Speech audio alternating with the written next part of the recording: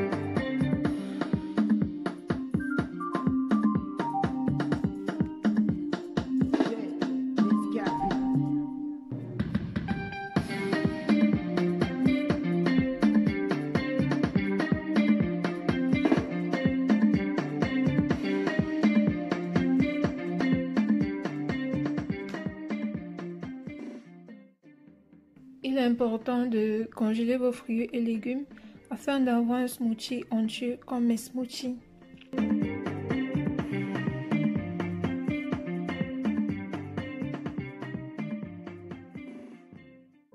C'est tout pour cette vidéo. Si vous avez aimé, donnez-nous un pouce bleu. Abonnez-vous et activez la cloche de notification pour ne rien rater. Suivez-nous aussi sur nos réseaux sociaux Instagram et Facebook où nous postons des vidéos et des photos de motivation, des avant et après pour vous motiver.